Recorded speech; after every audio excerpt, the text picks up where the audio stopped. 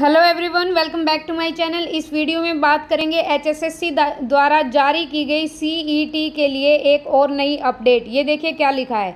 Haryana CET आगामी अगस्त में होने पर संशय एनटीए ने एनसीआर के चौबीसों केंद्रों पर सीईटी कराने के लिए मंजूरी मांगी। एनसीआर एनसीआर मतलब जो हरियाणा का जो क्षेत्र, जो दिल्ली में आता है। अब पूरा क्या न्यूज़ है पूरी? ये देखिए।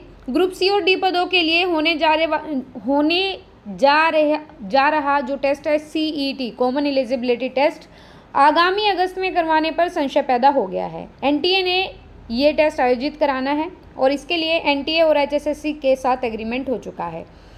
एन टी ए ने एच एस एस सी को पत्र भेजकर ये कहा है एनसीआर एरिया में पढ़ने वाले चौबीसों परीक्षा केंद्रों पर आयोजित करना चाहता है। एनसीआर में नोएडा और दिल्ली के परीक्षा केंद्र भी आते हैं। ठीक है? इस पत्र को एचएसएससी ने मुख्य सचिव के पास भेज दिया है।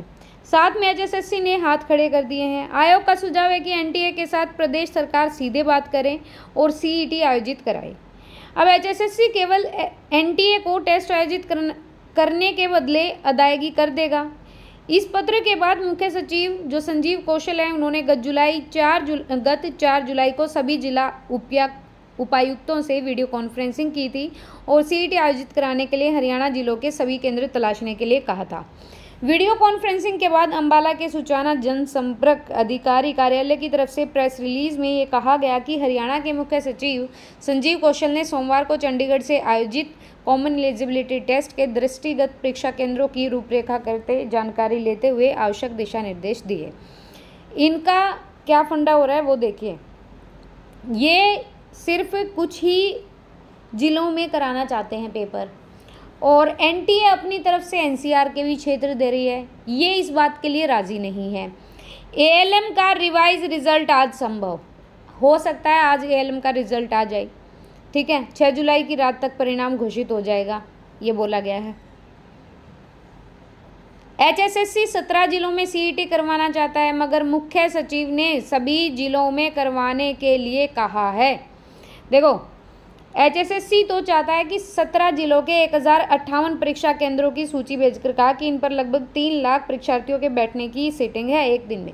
इसके बदले एनटीए ने एनसीआर के चौबीस केंद्रों पर सीईटी आयोजित कराने की अनुमति ले ली। मुख्य सचिव संजीव कौशल ने प्रदेश के सभी जिलों में परीक्षा केंद्र तैयार करने के लिए जिला उपायुक्तों को निर्देश भी दे दिए हैं।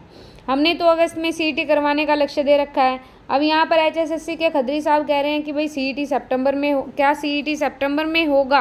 दैनिक सवेरा ने जब पूछा, क्योंकि जिलों से आई प्रेस रिलीज़ के अनुसार उनका आयोजन सितंबर में बताया गया तो अध्यक्ष ने कहा कि आयोग ने तो एनटीए की अगस्त 2022 में सीईटी आयोजित कराने का लक्ष्य किया है।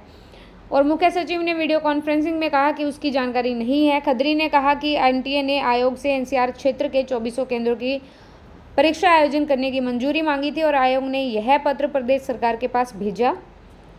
उन्होंने कहा कि उन्होंने प्रदेश सरकार से आग्रह किया है कि सीईटी से आयोग को बाहर रखा जाए, प्रदेश सरकार स्वयं आयोजित कराए। सुनिए, खदरी साहब चाहते हैं खुद मनोहर लाल खट्टर इसका बेड़ा उठाए, वही एनटीए से सीधा बात करें, वही परीक्षा केंद्र सेलेक्ट करें और वही आयोजित कराएँ। अब एचएसएससी से भी कुछ चीज़ें पूछी जा रही हैं एनटीए के द्वारा और ये यहाँ से बच निकलना चाहते हैं। तो भाई देखो, अगस्त में होगा तो बिल्कुल लास्ट में होगा, नहीं तो सितंबर के फ़र्स्ट में होगा। इससे पहले सीईटी नहीं होगा। अपनी तैयारी करते रहिए। आपको अपडेट कैसी लगी है बताइएगा। एंड प्लीज़ वीडियो देखने के लिए थैंक यू सो मच पसंद आए तो please like and share and please subscribe the channel